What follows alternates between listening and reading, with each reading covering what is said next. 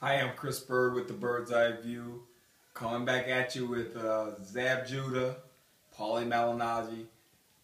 It's a fight, you know, a Brooklyn fight, you know, big for the area, eh, you know, big for Showtime also, and and you know, style wise, I thought, okay, if Zab pulled the trigger and could get his punches off being lefty, stronger, you know, really more experience, like Paulie said, he looked up to him he gonna put in work. Wasn't the case.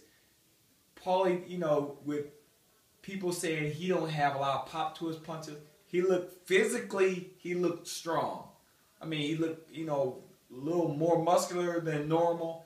His hands are fast, and Paulie smart. You know, he, he uses jab well. He constantly jabbing, jabbing to the chest, jab to the stomach, and his hands are fast enough to throw combinations while Zab couldn't really pull the trigger like he wanted to. And I thought the southpaw style would offset Paulie a little bit. It didn't. Paulie was just first in everything. First with combinations, first getting off, doing his thing. And I think the, the jerkiness of his movement was throwing Zab off a little bit too. I mean, he constantly in front of you moving. And when he's moving like that, you don't know where the punch is coming from. You don't know if he's going to throw a punch or he's going to pause. What's coming next? And it kind of threw Zab off a little bit. And I thought Zab probably thought this gonna be an easy fight when you look at it on paper.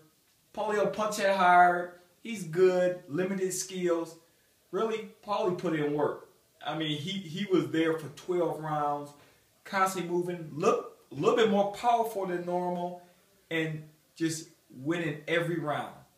I mean, cleanly, doing a great job, and put himself back in a position where he may be fighting for a title or, or a big fight next. Great win for him over a over a legend, really, a Hall of Famer. I mean, Zab been there. Maybe at the end of the road for Zab, maybe his last big one. You never know. You know, more power to him. Love Zab Judah. That's my guy.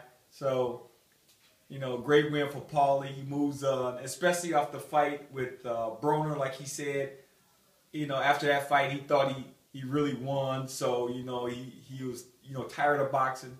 He back. And he's he's a hard guy to beat. I mean, I mean, uh, Paulie is really good, skillful, smart, uh, can, you know, just give you all kind of problems. So that welterweight division is loaded. I mean, just a lot of talent in it. A lot of great matches can be made, and Paulie the mix of that. Great form, and he moves on. Now you got the bird's eye view. Follow me at Slipmaster92 on Twitter. Subscribe to my channel always. Thank you very much.